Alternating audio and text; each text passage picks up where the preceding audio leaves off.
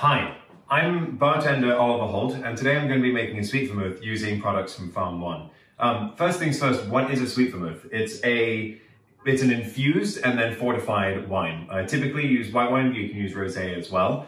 Um, and I have all my products ahead of me, so let's dive right in.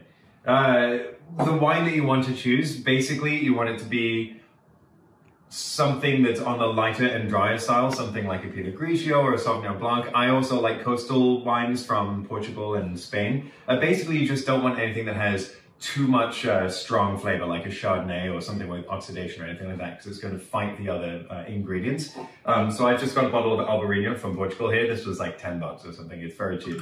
Um, what I'm going to be doing for this particular uh, recipe is a whole bottle's worth.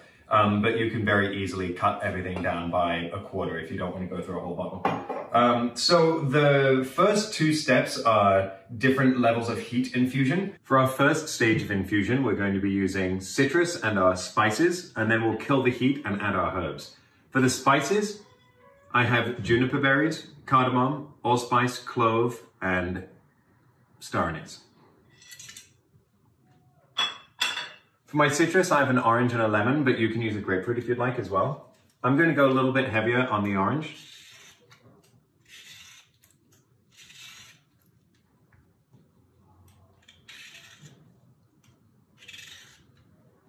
And I put it on the heat. I'm putting this on a low heat so that it can just have a simmer and get to know the other ingredients. While I'm doing that, I need to caramelize my honey. You can also use sugar, but I find that honey is, is much easier to use. I've got about 50 grams here, or sorry, 50 milliliters, which is about two fluid ounces. While the wine is simmering with the uh, initial ingredients, I'm caramelizing my honey here. You can use regular honey or a simple syrup, but um, I really want that sort of raw honey, rough around the edges uh, flavor.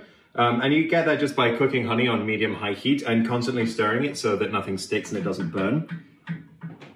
You're going to be cooking it until all the water bubbles out and then the surface sugars are allowed to caramelize.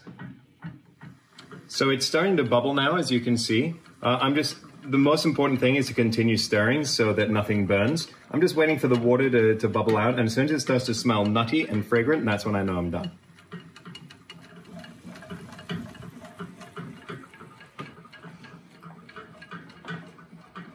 So this is basically where I want it. It's definitely uh, begun to reduce a little bit, so it's nice and gloopy, which is great.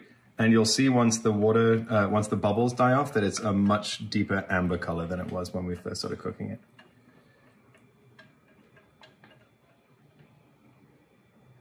Yeah, look at that.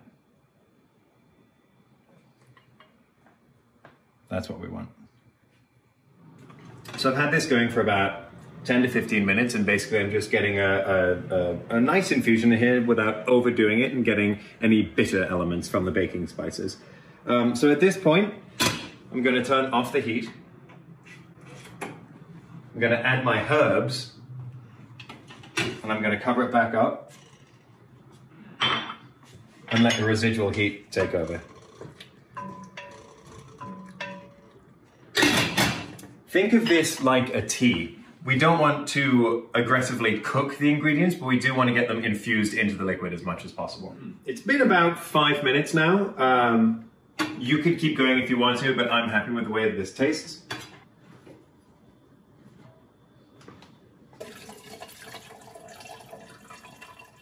So I've got my infused wine, I've got my caramelized honey, and I'm just to mix it in.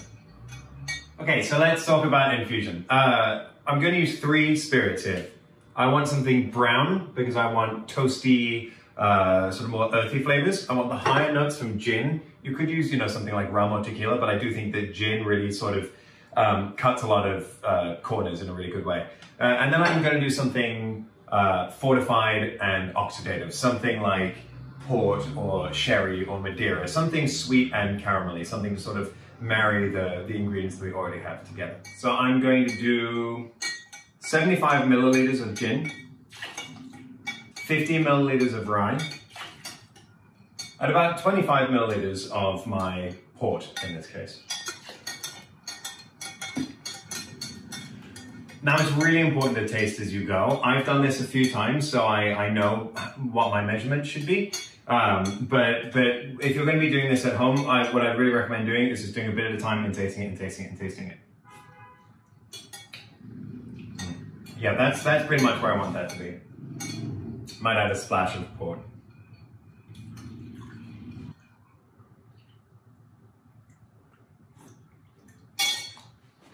Yeah. It's important to note that the fortification and sweetening process is really more art than science. It's worth tasting it as you go along. In fact, I, if it's your first time, you definitely shouldn't do it any other way. Don't just add the ingredients. Um, and if you want it to be a little bit more sweet, then add your uh, fortified wine or your honey. Um, if you want sort of a bit more of a pop, um, then you want higher notes from gin. And if you think it's just sort of like lacking depth and structure, then give it a bit more of the whiskey. This, on the other hand, tastes pretty perfect to me. If there's one thing that I could leave you with, one lesson to take away from this, other than the general instruction, it's um, not to stick to one script. It's important to experiment. I mean, I, I, gave you a recipe that is a bit more on the floral side and it's much more herbaceous and it's uh, lighter. But, you know, uh, use your favorite spirits, use your favorite wine, just really mess around with different things, mess around with cooking times, um, and, and, and see which way you prefer to do it because there's really no wrong way to do it. Now you can bottle this up and keep it in the fridge and it should be just as delicious for well over a week, if it lasts that long.